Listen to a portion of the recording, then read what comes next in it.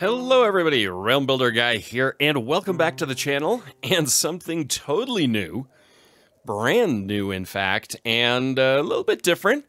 Have a little bit of fun today. I mean, we always have fun here on the channel, but we're to have a little bit different kind of fun here today with a new game that just got released to early access on June 1st. I'm recording this here on June 2nd in Going Medieval. As you can see here on the right hand says, it says early access. And this is going to be a little bit different. Usually with games where I even do first look reviews, I pop in, I play maybe a couple oh. hours just to kind of get the lay of the land, and then go in and do one of these just so I'm not completely, you know, walking around blind. But with this one, I did pop in, read some of the tutorial tips just to kind of familiarize, but as far as actual gameplay and figuring things out, I have done I have done nothing. And I want to go on this journey with you and discover this game together with you. It could be a complete disaster, but we're going to have fun. We're going to have fun along the way. So, what is Going Medieval? Well, the best way I could say it is Castle RimWorld. That's right, it is a colony building game, and you're going to hear a lot on YouTube and everywhere else that this is very RimWorld esque. It's very RimWorld ex- uh, expired, inspired. And that's for obvious reasons because RimWorld is really the colony builder game out there. I absolutely love it because how can you not like ha- uh, being stuck on a planet with a, a, naked cannibal? I mean, that's just that's that's good times right there. But anyway, what I've seen so far is maybe going medieval is a little bit, little bit less grim dark, but it is the Middle Ages and it is a colony builder game and uh, it is actually available both on Steam and Nexus GG. So you can find that link down in the description if you so choose. I think right now it's still 10% off, so it's like $22 and some change here in the US. And uh, this game, I was not given a code for it. I saw it and went, this looks really cool. So I used money to buy it. And the money I used to buy was actually money made possible by you guys, the viewers, and through Patreon. I use Patreon funds and some YouTube funds to pay the $22 and some change for this to bring content to you because that is what I do and that's what I promise. You know, any Patreon money, any of that kind of stuff that comes in, I reinvest back into the channel to bring you know software hardware upgrades so on if you want to figure find out how you can support the channel uh, uh, through Patreon. Link is down in the description. Uh, you could also be join and become a channel member, like a David Marcon did. So thank you, David, for that. Or you could just let the annoying ads play. That helps a lot. But of course, views and comments. Well, that's the way forward. And I'm sure there will be a few comments about this game as we play it. And you saying, Realm Builder Guy, what are you doing? So, first of all, I'm going to go through some of the options here. So very basic. You've got graphics, audio, the game options, and so on. I mean, game options. It, it's all very back-endy stuff, so we're not going to worry about that. Language, you can set a language. I've, of course, got it set to English, but you've got a number of languages to choose from there. And the roadmap of the game. So I'm going to show you this here first. Welcome to Going Medieval. Thank you for your support. You're welcome going medieval.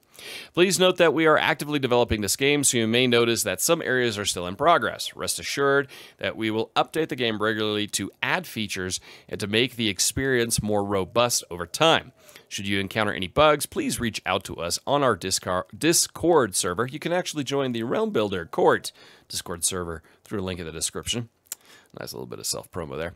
Uh, server or report them through the in game bug report. So, plan future updates, trading in merchants, caravan, settlement diplomacy, settler social interactions, religious influence, because religion is part of the game, fire inflammability, accumulating snow, organic dirt paths, mounted siege weaponry, raiding other settlements, vassal system, map factions, prisoner system, taming wildlife, animal husbandry, grand objectives, natural caves, ruins, shelves, and weapon racks. Uh, so, plus more structures, more music, more map types, more resources, more siege weapons, more research items, more quality of life improvements. So, the question, of course, is what do we have with this game? And why did I decide to grab Going Medieval and put it here on the channel? Because recently I did a little channel update where I talked about that um, you know, fantasy, sci-fi. As much as I love, love, love that stuff, this is a history gaming channel. History strategy games. I mean, colony building is a strategy game. Let's face it, but it has uh, historical overtones. I always love playing RimWorld, and I thought about, you know, what about putting RimWorld on the channel? Well, there are a few things that speak against that. One, it doesn't fit the now issued, I hate this term, mission statement of what this channel is, and it's not historical, it's sci fi. So if I did a sci fi uh, strategy gaming channel, we would be playing Stellaris and RimWorld, but we're not. So when I saw this come out, Going Medieval, uh, I think about two months ago, I did a little survey here on the channel and asked, what is your favorite historical time period? And I listed a whole bunch of them. And the medieval middle age period that I will just loosely define as the year 500 until the year 1500 uh, was definitely the area that had the most interest. I think of it was about 40, 45%, and about 2,000 of you uh, participated in that poll, I think. May have been less. I'm going to say 2,000. I didn't actually check. I probably should have checked. Anyway, and it was overwhelming. So when I see a middle, medieval game pop up, especially one that's new and looks a little bit intriguing, I'm like, ah, this could be something for you guys and for me. It fits the mantra. It's historically inspired. Of course, it's not a historical game, but it is historically um, inspired, and we will delve into it here today and do the first steps here. So we're going to start a new game and we can either do survival, so enemy raids happen frequently in this mode and their difficulty increases over time. We do peaceful, there are no enemy attacks. Choose this game mode if you prefer to focus on constructing your settlement and taking care of your settlers, or standard, your settlement will experience enemy raids as well as environmental e events. Raids occur at steady intervals. Their difficulty adapts to as you progress. Uh, difficulty, we can do very easy, easy, normal, difficult, or hard. We're going to stick to normal. All right, moving forward. So we can do a new life, a lone wolf, or we can add a new scenario. We're not going to do that. We're just going to do... So a lone wolf is settler starts alone with meager resources in the harshest of conditions. I don't know what I'm doing. So we're just going to start with a new life. A new life, each settler has a story about the past they left far behind. But now, this tattered group has a common goal to build a new home together. Recommended scenario for first-time players, which I am which pretty much everybody is at this point. Starting season will be spring. Resources we've got packaged meals, wood, hay, cabbage, chronicles, linen cloth, simple healing kit, mechanical components, and ale. Uh, equipment we have, let's scroll down here. Uh, wooden spear, steel short sword, short bow, longbow, uh, wooden buckler, and linen gambeson. Let me know. Uh, settler constraints, number of settlers three, the age range we have here, 23 to 55, height range, 1 meter 50 to 1 meter 90, weight range 50 kg to 110, men, women 50 50, uh, restitutions for Oak Brethren. I will get into that in a second. And then, of course, all the clothes. So let's click on next. Okay, we get to pick a place. So we can be either a valley, we can be on a hillside, or we can be in a mountain. We're just going to start in a valley. We've got plentiful vegetation, fertile soil and clay, moderate amount of limestone, lesser amounts of gold, silver, iron, and salt. Uh, heraldry. Let's see. Can I find something I like? I like. And it's all pretty bog standard. I've seen kind of the same ones here a few times. Um, yeah, let's just go with the dog. And the name of the place, we are going to call it Realmberg because why not? Map size default because that's all you have right now in early access. That will obviously change and get larger with time. Next. Okay, we've got three settlers. We've got Osmond, Caradas, Steven, Freeman, and Edward Notley. So we're going to rename all these guys. We are going to rename Osmond. We're going to call him, and I'm not going to, like, try to find new ones. We're just going to go with these guys and kind of see what goes. We're going to name these after patron supporters. So this one will be David, after David, who is one of the um, heroes of the realm. That's the the tier on Patreon where I put you into the game as much as I can. Here we're going to have Grim. And here we are going to have John. Very nice. Okay, so now let's take a look through this. So group skills, What are we good at? What are we not good at? So the higher the number, the better it is. So, uh, group wise, we're very passionate about construction. We're passionate about marksmanship and passionate about tailoring. Uh, let's see. Uh, at a quick glance, uh, we're decent carp. We've got decent carpentry, intellectual skills, marksman skills, medicine, smithing, and speechcraft. Animal handling, not so great, but animal handling isn't really in the game yet. Botany, eh, not so good. Yeah, not so great at construction. So what do these all mean? Animal handling means taming, feeding, training, and hunting animals. Okay, maybe animal handling is important. I, I feel like hunting should be separate, personally. We've got botany, uh, used for sowing, growing, harvesting, gathering plants, herbs, and fruits. So he's very, so David is very, you're very passionate about botany, but um, yeah, you kind of suck at it.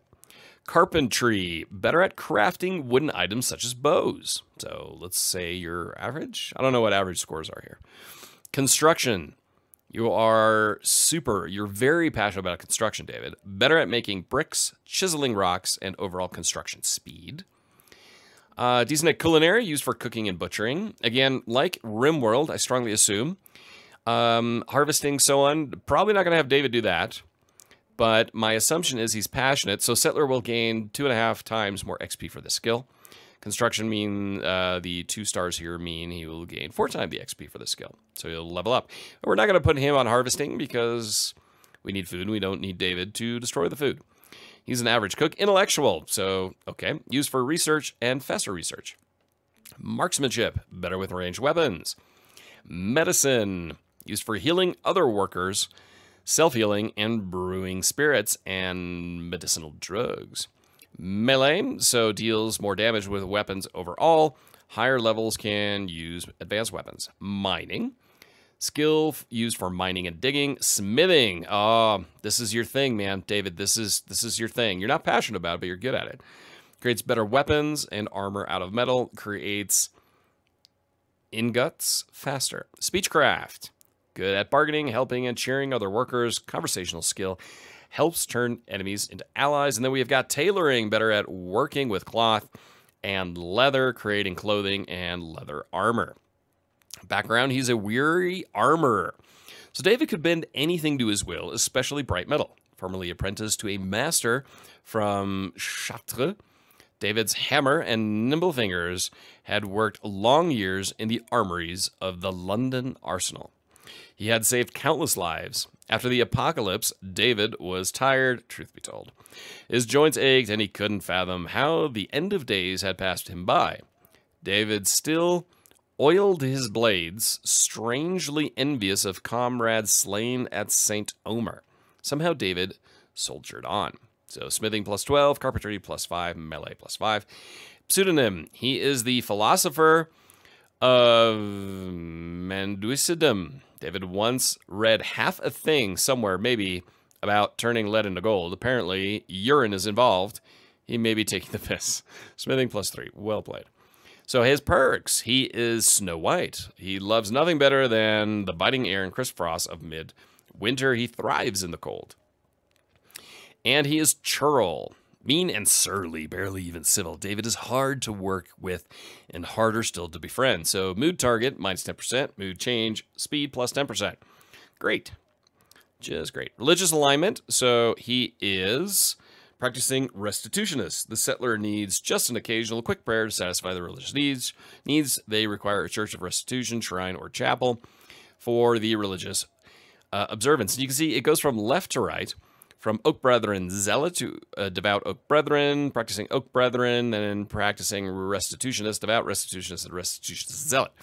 So what I'm going to assume, as I slurred my speech there, is that to the left, let's call them the old gods, and then Christianity to the right. Could be. Age 29. His weight is 64 kilograms, and he is 1 meter 86 tall. So he's tall and pretty thin. Then we've got Grim Freeman. Um, what is he? So he's passionate about marksmanship, but he's not very good at it. He is the intellectual here, but he's not the most intellectual. Pretty average and all of this kind of stuff. A little worried. Botany, we're, we're, we're down here. Botany's not good. The, we, we really need good botanists. Good at uh, medicine. Melee is average. Looks like we're very average there. Mining. He's he's passionate, very passionate about. It. He's passionate about smithing, but can't do it. Decent speechcraft, and he is passionate about tailoring, so that's good. His perks are he's hedonist. Without a bit of excitement, Grim quickly gets bored and starts causing trouble. Quite the drama queen. And then Erudite. Grim has a rare intellect and could even be called gifted. He learns extremely quickly. So intellectual plus 5 and XP gain plus 15%. That's nice. Uh, nothing for hedonist. He is a despicable barber. So, need a close shave? When it was time to remove a troublesome beard or festering limb, Grim would merrily oblige. He loved gossip almost as much as letting blood. Grim was often the first to know, and for many the last they would see. After the apocalypse, Grim took to the hills on a rampage as order crumbled. For privilege, Grim gathered a vile band of ruffians and killed and burned at will. He was exhilarated by chaos, amused by desecration, and not to be underestimated. So, speechcraft, medicine, intellectual, melee, and marksmanship go up. He's not known as anything. Religious alignment, he is a devout restitutionist. He is 26 years old, weighs 58 kilograms, 1 meter 54. So he's kind of a short dude. And then John. John, what is John? Animal handling, no bueno. Carpentry is pretty good there. Botany, he's our best botanist. Construction, he's very passionate about it. Culinary skills, he will not be cooking. He's pretty intellectual. He's a good marksman, so he's going to get ranged weapons. Medicine, it's okay. He's passionate about melee, but he's not really good at it. He's not going to be mining. He's a decent smith. Speechcraft, not so great. Tailoring, not so great. He is stout. John jokes that his ample belly is a great asset storing energy for lean times. Getting around is slower, though. So appetite plus 10%, consumption duration minus 5%, movement speed minus 5%. And he is 40 winks. John only needs to shut his eye for the briefest of cat naps to feel fully restored, so his sleep recovery speed plus 5%, sleep depletion speed minus 10%. He is a thrifty master builder. John loved getting stuck into a complex project. He spent many years crossing Europe in search of instruction. John understood how to create gravity defying structures with stone and iron, taught by the nameless genius cathedral builders. When the world changed, John had left the silent streets of Gainsthorpe with a cart and started collecting metal. From churches to manors, John stripped them clean and melted it all down. Sir Hugh Gaveston and William of York would surely be needing swords.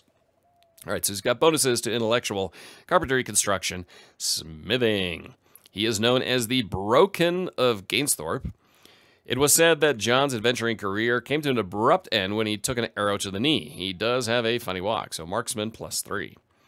He is devout oak brethren. So basically, we've got old gods, new gods, and a dude in the middle.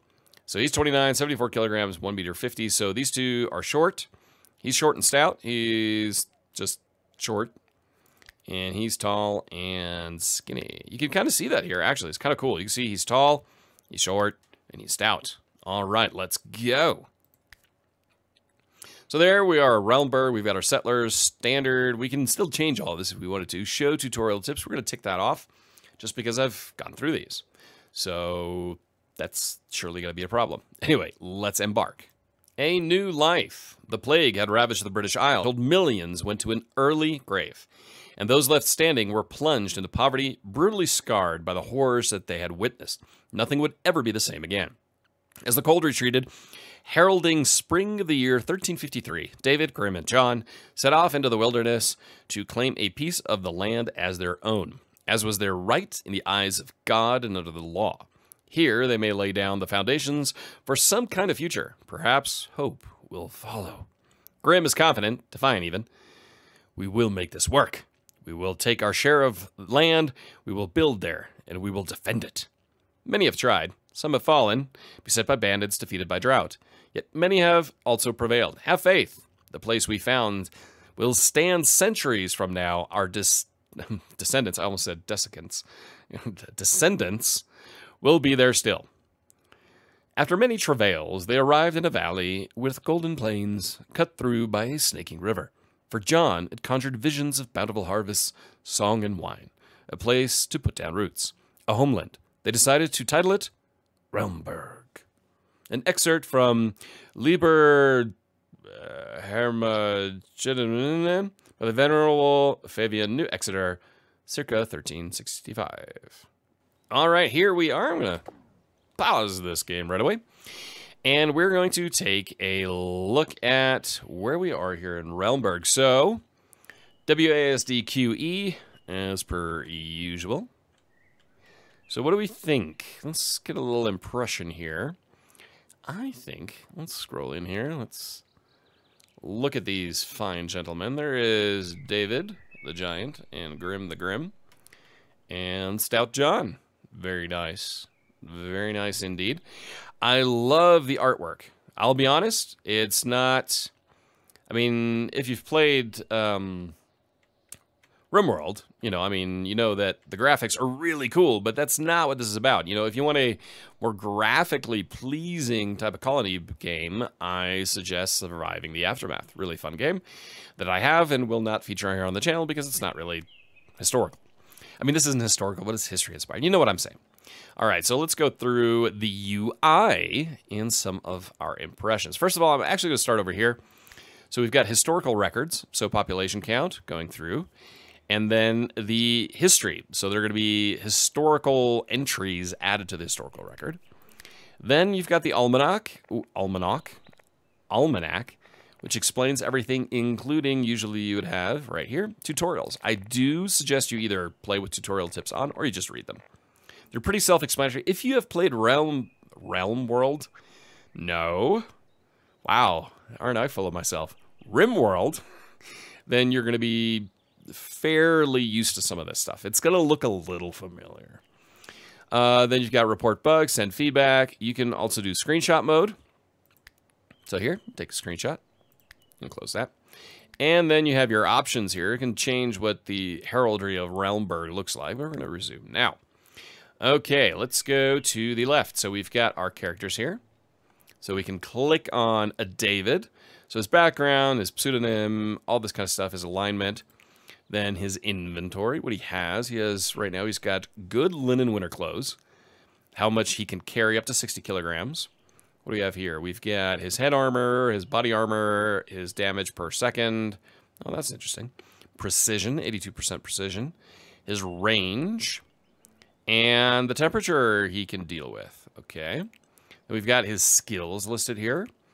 Attributes, general. So his movement, speed, his appetite, so settlers nutrition expended per hour, consumption duration, sleep recovery speed, mood target, mood change speed. Remember, he's, yeah.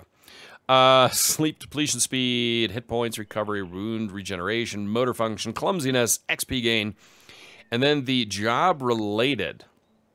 So this is his XP gain by attribute base value 100% and plus 1 construction. So, okay, so this is what he can or can't do. He's not, botany is not his thing. So I guess 100% is average. He's pretty decent at that.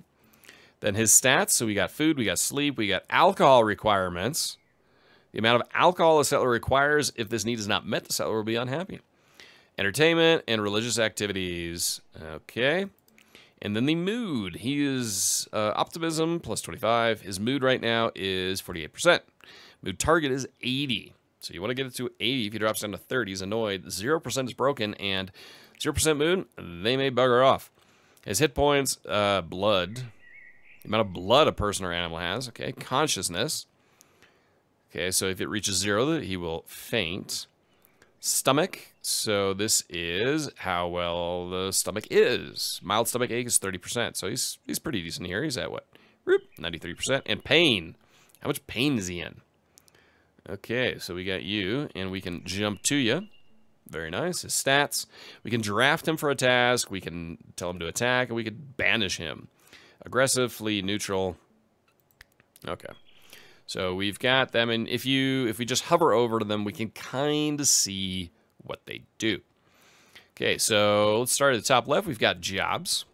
So just like in a different game, RimWorld, uh, you can set up the different jobs. You can either left mouse click or right mouse click to priority. Highest priority is one, lowest priority is five, or you can just do priority none. Nice thing is we can just hover over them and we can see what they are good at doing, and then we can adjust accordingly. I'm not going to do that just yet. We're going to go through here and kind of look at this. Schedule. So we can say who needs what type of schedule. I know one of these guys did not really need to sleep, and I want to say it was John. Uh, John, 40 wing, so he doesn't need to sleep a lot. So my goal here is maybe John does more night shift. Sleep, anything, and leisure and work time. We can manage, so who gets what? Manage one-handed, melee two, or manage. No weapons, all weapons. We're just going to leave that, or no weapons, uh -huh, right now. And I guess that we can tell them what they should or shouldn't wear. Got to learn that. Research, we can't do that yet because we don't have a research bench yet. And then the region itself. All right, so here we are in the greater province. Let's see, we've got Colchester, they're friendly. We've got Thorn, Thornthwaite, they are friendly. And we have Penpot, they are friendly. Ashburn is friendly, and Glassthorpe is friendly. Not so friendly. We've got Winterbourne. These are Forest Bandit Enemy Settlement. This is Enemy Settlement Progeny, Slaithwaite. And down here, we have Maryport Enemy Settlement, uh, and these are Forest Bandits.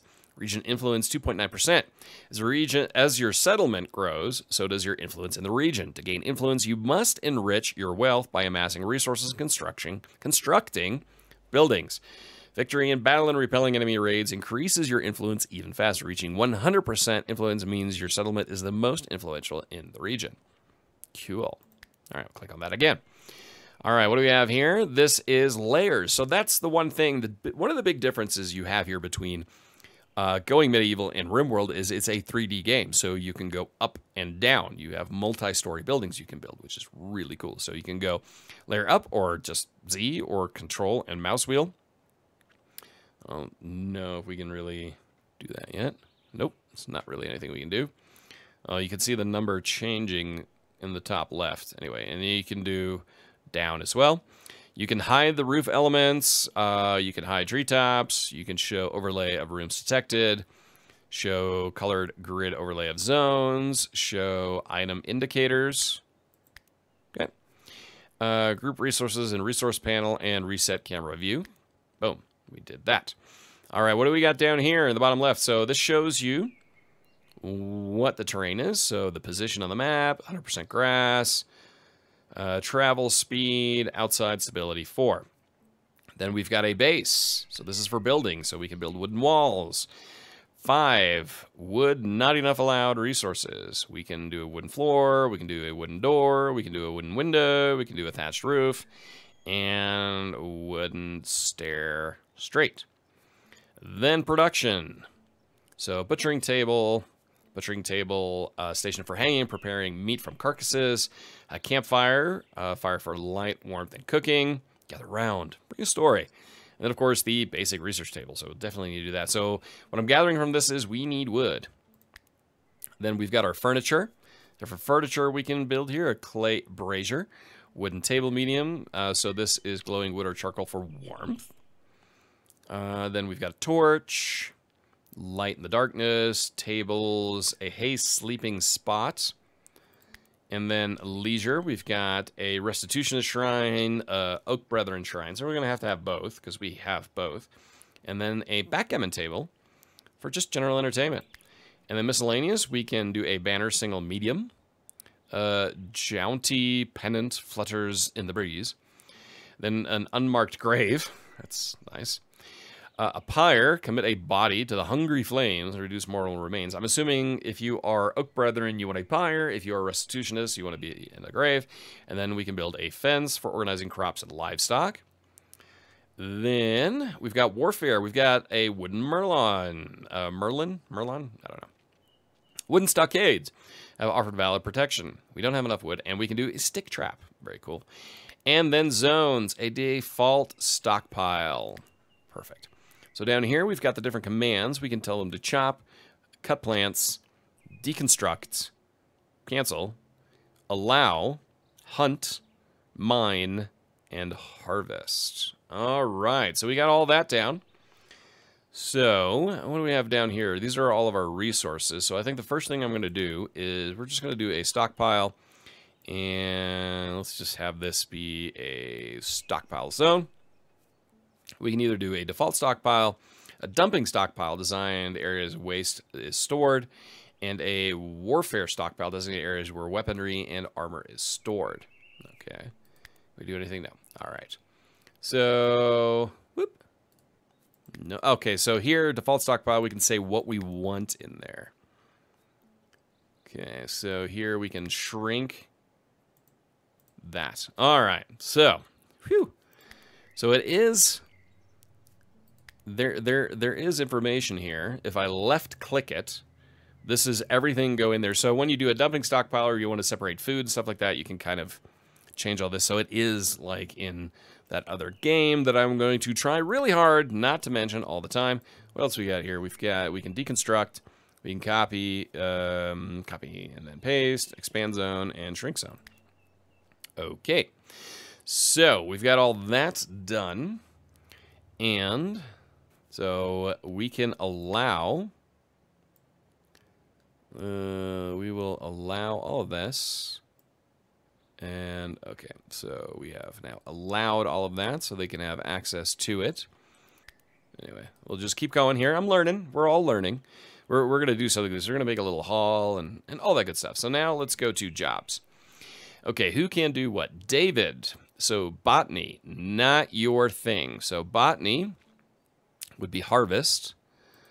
So we're going to go with uh, five if need be animal handling. So he's not really a hunter. That out five. What can he do? Um, tend.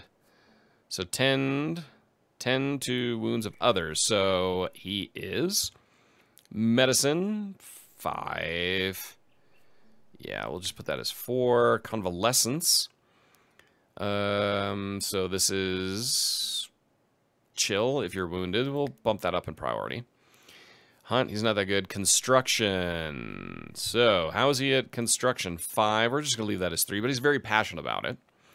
And right now, we do need to construct some things. Growing, he is passionate about, but he... Okay, so here it shows the relevant skill, so I don't have to worry about that. Uh, not really good at growing, pan growing pants. So we're going to drop that down to a four. He is passionate about it. Harvesting, yeah, he's not good at that. Mining, so we'll leave that at a three. I'm not worried about that right now. So we're going to drop the priority on that. Cut plants, botany. And drop that down. Cooking. So he's actually pretty good at cooking. So we'll bump him up in that. Crafting. Okay, we'll just leave that as is. So I guess there's nothing really to find there. Smithing. So he's really good at smithing. So that's going to be his highest priority. Carpentry, it's average. We'll leave that as three. Tailoring, yeah, he's not really good at that. So, yeah, he doesn't need to tailor. Research, yeah, yeah, he's not really much of a researcher. Steward, taking care of basic tasks, locking doors, closing windows. Yeah, we're going to pop that as high. Haul, we're going to put that as a two. Then what we can do here, we've got Grim. So tend, uh, medicine, he's very good at that. So he's going to be high priority. Highest, nah, we'll give him highest priority if someone's hurt. Uh, convalescence while wounds heal, pop that up. Hunting, okay. Actually, he's better at hunting. Put him at three. We'll put him at four. Construction, yeah, average. Growing, mm, okay. He's mm, okay. Harvesting, mm, okay. Mining is decent, but I'm not worried about mining right now. So actually, let's pop these down to five. Cut plants. Okay, cooking. Yeah, no. We'll just not have you cook. Crafting. Smithing.